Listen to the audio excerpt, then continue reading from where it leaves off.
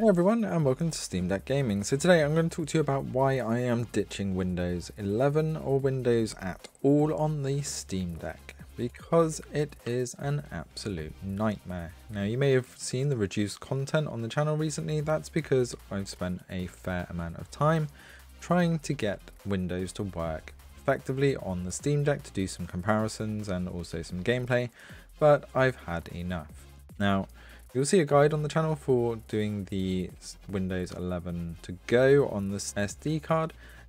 And I also say in that video that I don't recommend it because it's extremely unstable and will most likely crash. And thanks to the latest drivers from Steam Deck themselves, it's broken Halo Infinite and a bunch of other Xbox Cloud games. So although you get audio, a load of the games are now broken on Windows 11. So it is just fraught with problems. And if you have a unstable USB-C dock, you see that I've tried to jam a bit of paper in here because otherwise you get a bit of wobble. This will cause your SD card or the NVMe drive, which I'll show you in a second, to slightly disconnect, which then crashes Windows instantly. Not to mention the fact that if you do want to do it, every time you reboot or reboot Windows, you need to hold down these buttons, and if you mistime it, Instead of getting the bootloader, you will go straight into Steam Deck. This means that you then have to power off and redo it every time. Now, I said that I did it originally with a SD card. I then went and purchased an M2 NVMe hard drive and put it in an external USB-C dock. By the way, this is absolutely awesome. The speed of this thing compared to any of the top end SD cards is absolutely amazing and the fact that this is actually cheaper than the SD card versions and gives you like quadruple the speed is well recommended. All the links to the tech and stuff that I use are in the description below, so if you do want to check those out, then please do. The USB-C dock is a must if you're going to do anything for recording or just want to use a mouse and keyboard. And this little Rii I4 mouse and keyboard is an absolute godsend for anything in desktop mode, and especially in Windows as well, because it's got the wireless, so it really is useful. Now, it's not just the fact that Windows has been an utter pain to get working that I'm not going to be covering it anymore, and I don't want it anywhere near the Steam Deck.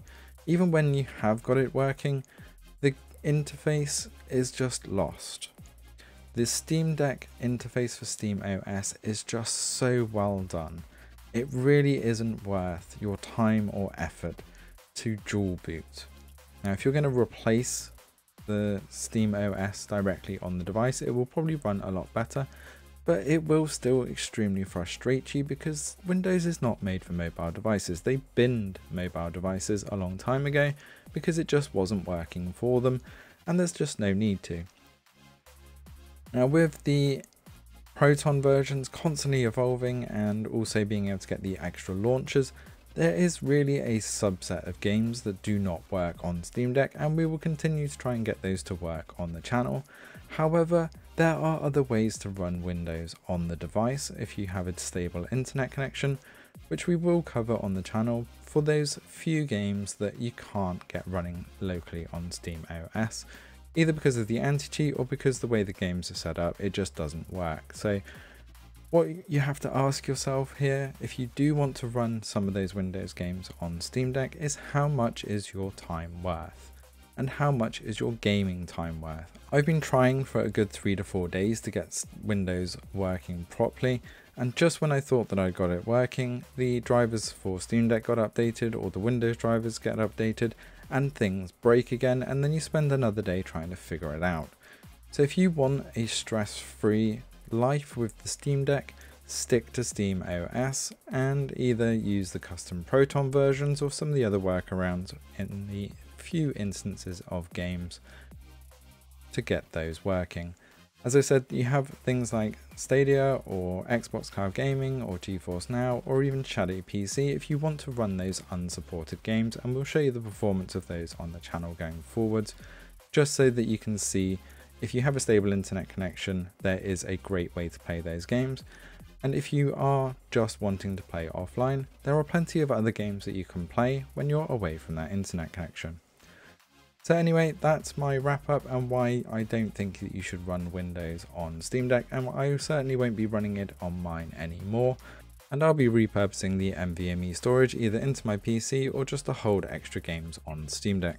Let us know your thoughts on the channel and if you've managed to get Windows 11 stable or whether you have also given up.